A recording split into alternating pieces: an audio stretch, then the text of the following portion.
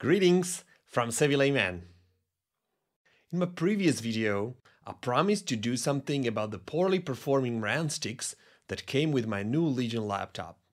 Here's what the issue was. Lenovo apparently used inferior single rank by 16 memory modules instead of going for superior single rank by 8. Without going into too much detail, by 8 memory modules are internally organized in 4 bank groups whereas by 16 modules only contain 2. Since the memory controller in the CPU can usually perform access, read or especially write operations faster across different bank groups than within a single bank group, by 8 memory modules perform way better. When it comes to RAM, it's indeed confusing for end users to differentiate between single and dual channel, single and dual rank, and by 8 and by 16 configurations and it's even very annoying that OEMs don't even like to disclose this type of information in the first place. They usually share just the memory capacity or also perhaps data transfer rates. But as I will soon show you, the other attributes do matter.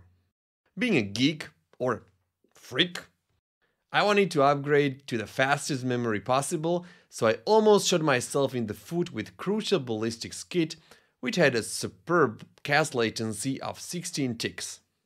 Not that the kit was bad or anything, it's just that Lenovo does not support XMP or memory overclocking on their AMD based laptops. Oh dear!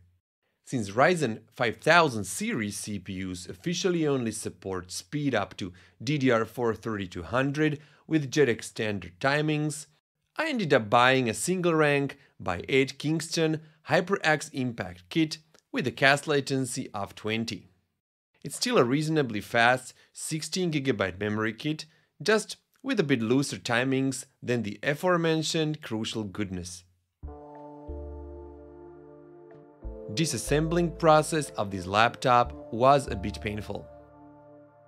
Though I appreciated the use of 10 standard Phillips head screws, it was merely impossible to pry the bottom panel without damaging it.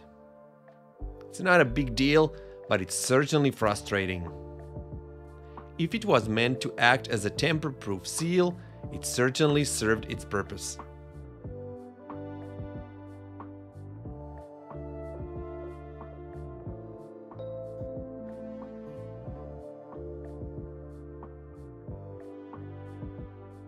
I used this opportunity to also upgrade the factory installed half terabyte Hynix SSD with another drive.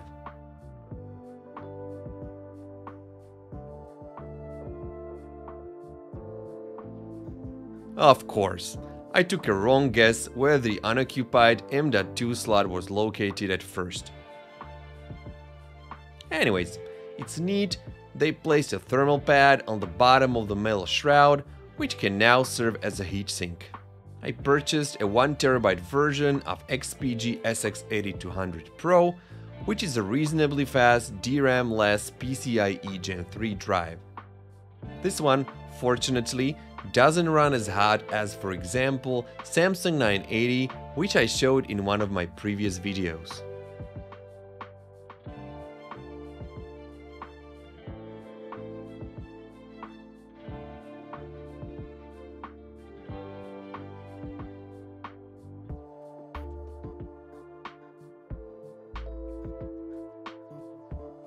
Here comes the shiny RAM kit. Can't wait to see the results.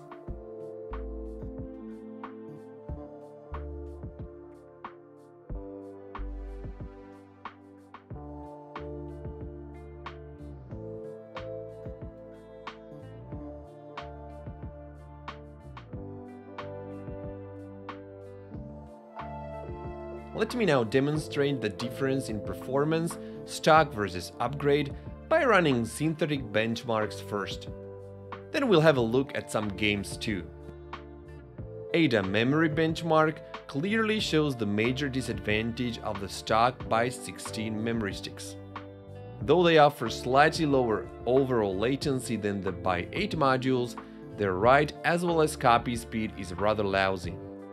Read and copy speed went up by modest 7 to 8%, but the write speed increased by over 22%. Linpack is also a good example of a demanding workload in terms of memory throughput. The RAM upgrade boosted the overall score by over 16%. Let us also have a quick peek at 3D Mark TimeSpy.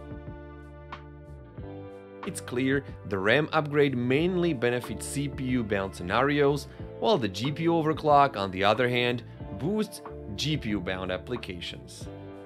If you therefore like to play competitive first-person shooters, faster memory is the way to go. Speaking of FPS games, though I could see improvements in gaming performance across the board, I was a little disappointed with Battlefield 5. I originally assumed the poor 1% lows were caused purely by the inferior bank group configuration. Although the mediocre memory sticks certainly had negative impact on the game, the suspicious 1% lows did not go away completely with the upgrade. I also tested the single player campaign, The Last Tiger mission.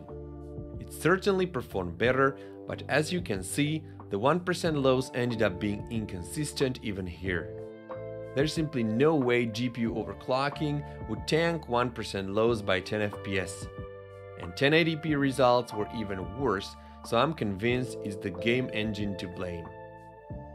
Battlefield 5 is apparently extremely demanding when it comes to CPU power, which is hardly surprising as, for example, the Conquest mode lets you play with 63 other players and all their whereabouts need to be calculated 60 times per second. That makes me think, hmm, if a modern 6-core 12-thread mobile CPU struggles to run Battlefield 5 smoothly, what about the new Battlefield 2042 which offers game modes with 128 players.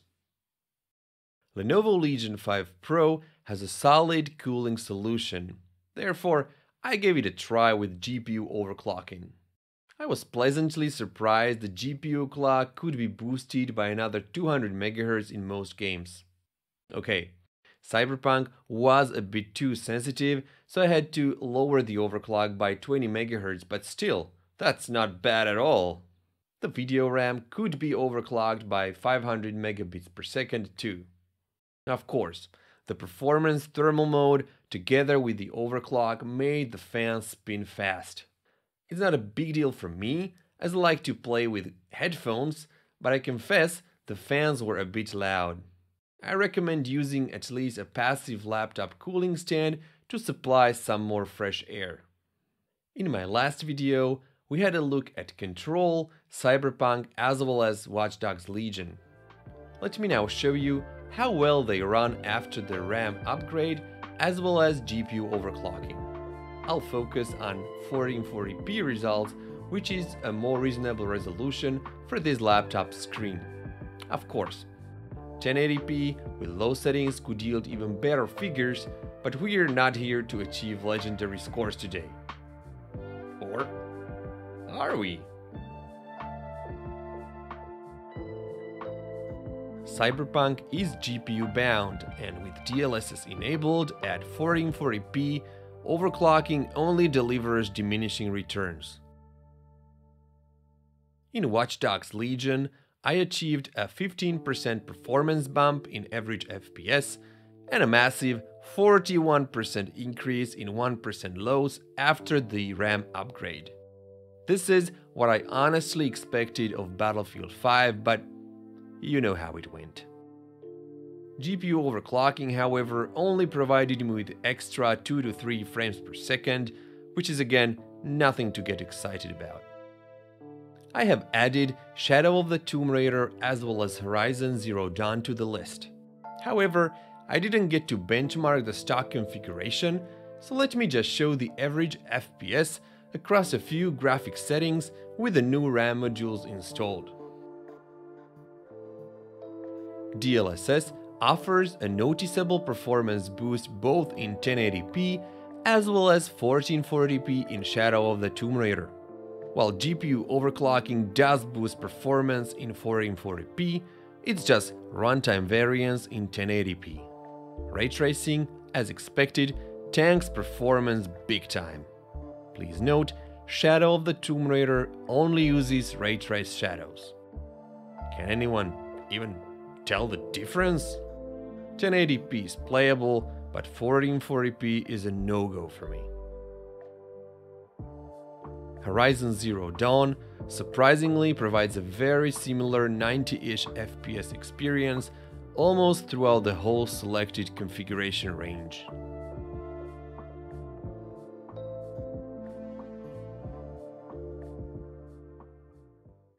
Despite the pain with the bottom panel, I think the upgrade was worth the effort overall.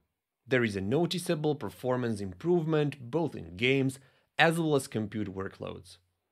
And I killed two birds with one stone as I was also able to increase laptop storage capacity. It's still a shame Lenovo used the inferior single rank by 16 memory modules, but I'm guessing the supply shortages might have played a role in this too. That's another reason why I always prefer as much upgradability as possible. That's all I have for you today.